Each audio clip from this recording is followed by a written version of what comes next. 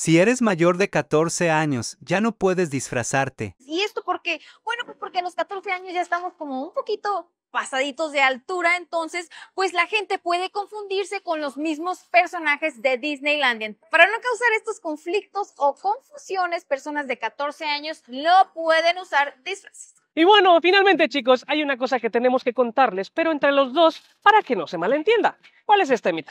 Mira, pues aquí en Disney sí, muy bonito y todo, pero las personas no pueden traer cualquier tatuaje. Si tú traes un tatuaje que pueda ser ofensivo para alguien, O inapropiado. van a hacer que te lo cubras con lo que sea, con un suéter, con la chamarra, con lo que sea, pero no es permitido.